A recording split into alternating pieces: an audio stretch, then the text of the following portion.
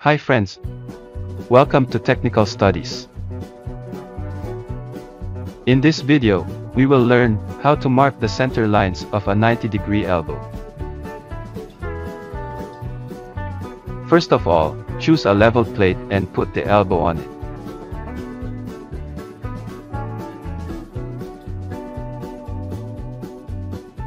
Check the outer diameter of the elbow.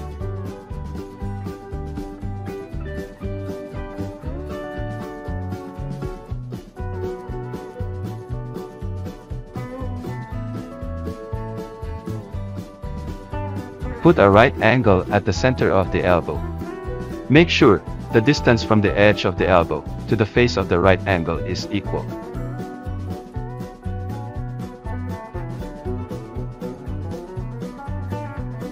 Now, draw lines on the top and the bottom of the elbow, where the right angle face touches.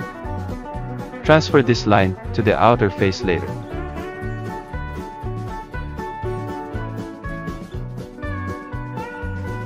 Mark the half OD from the plate to the sides of the elbow, as shown.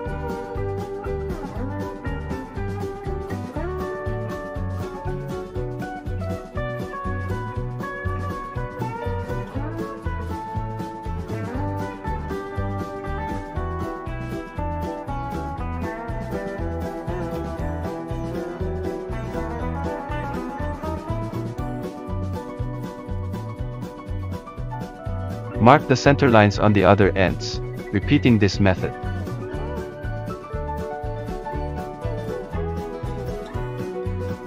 Thanks for watching. Good day.